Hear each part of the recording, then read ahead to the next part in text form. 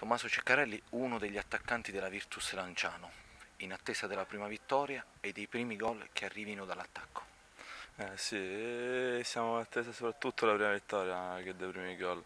Speriamo di vincere subito, di portare a casa subito questi tre punti.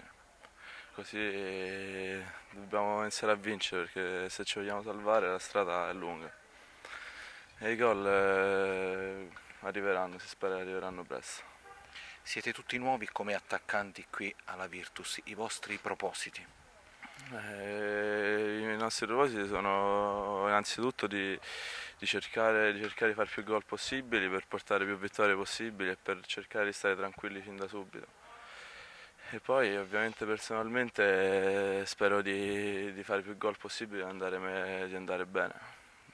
È la prima stagione alla Virtus, in questo ambiente come si è trovato? No, no, mi trovo molto bene, il gruppo, il gruppo è ottimo.